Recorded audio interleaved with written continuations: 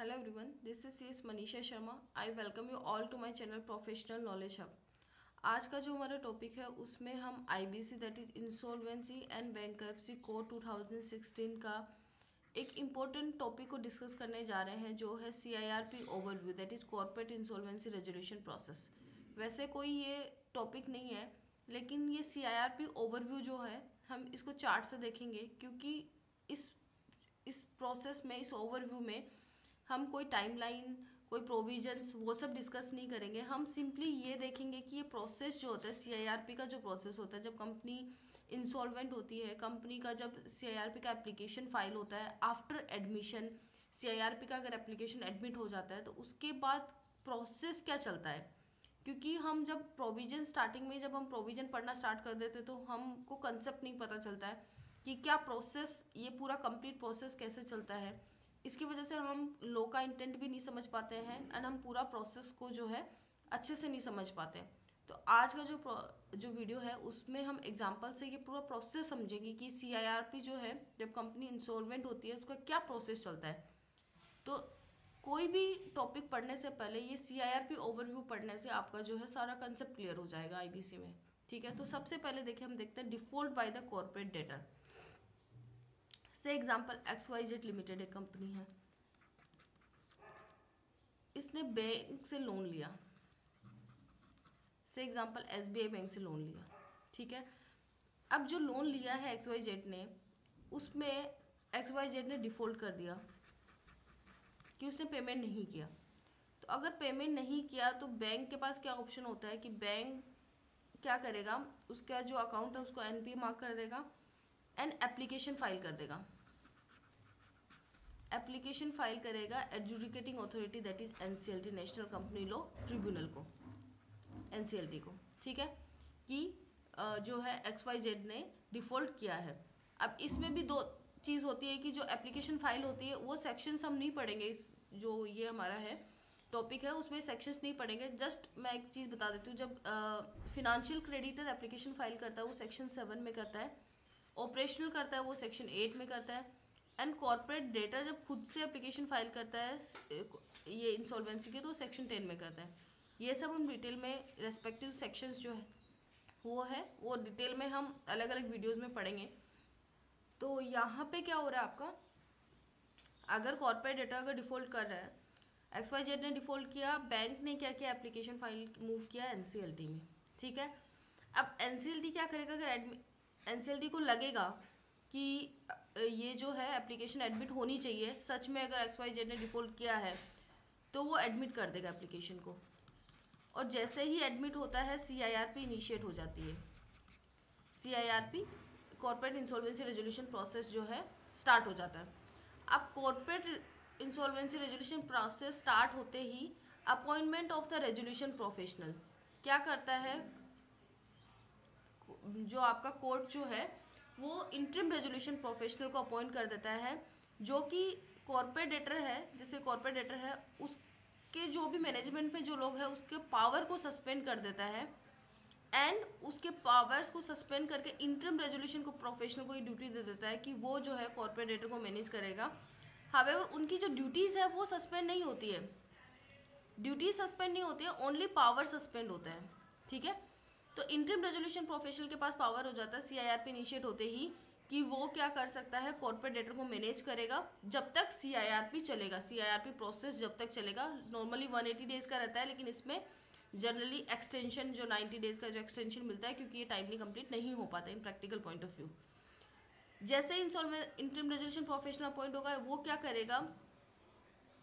आपके claims public announcement देगा, ठीक है? पब्लिक अनाउंसमेंट देगा।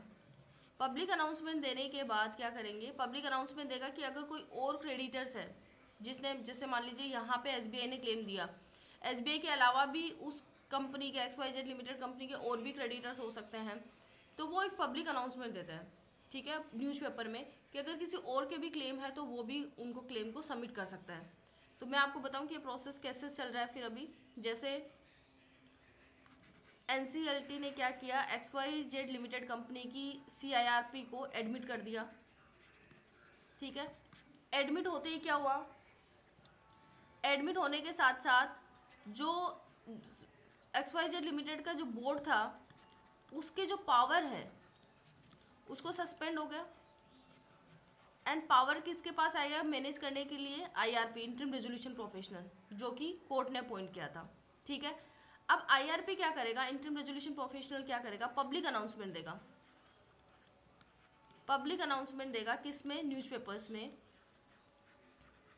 कि कोई, इनके प्रोविज़न जो हम डिटेल रेस्पेक्टिव वीडियोस में पढ़ेंगे। लेकिन मैं एक प्रोसेस आपको बता दे रही हूँ, जिसको आपको आइडिया हो जाएगा कि कैसे प्रोसेस चलता है।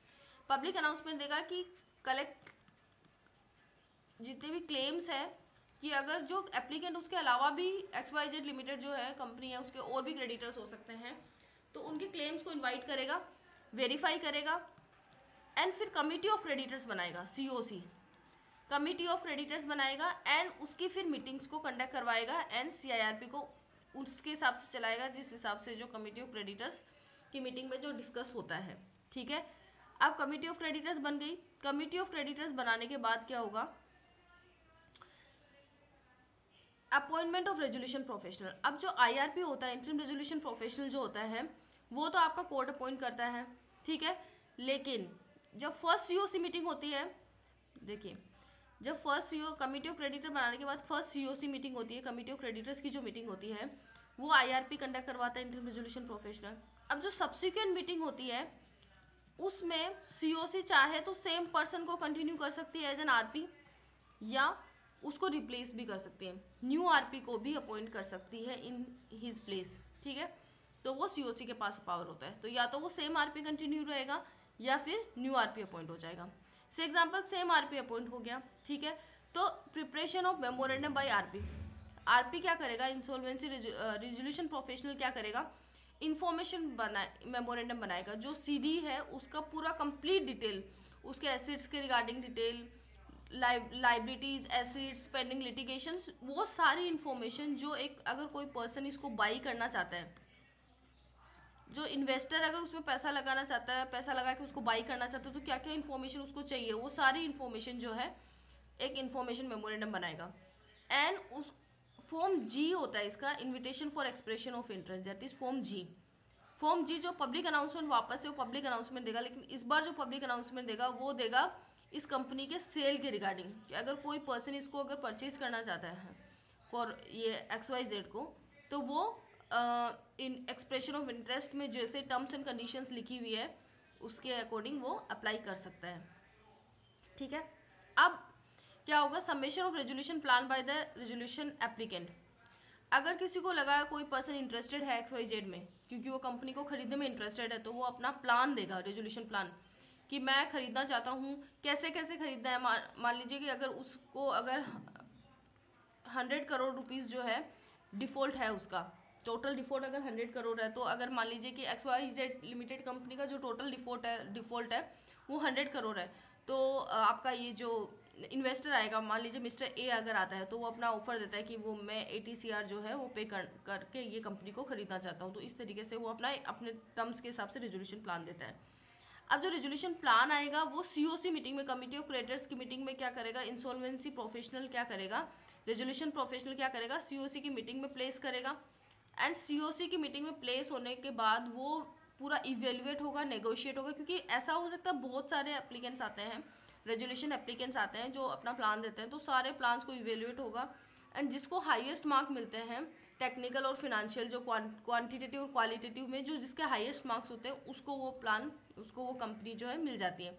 रेजोल्यूशन प्लान अप जैसे ही सीओसी अप्रूव कर देगा, मान लीजिए सीओसी ने अप्रूव कर दिया मिस्टर ए का प्लान मिस्टर ए का प्लान सीओसी ने अप्रूव कर दिया।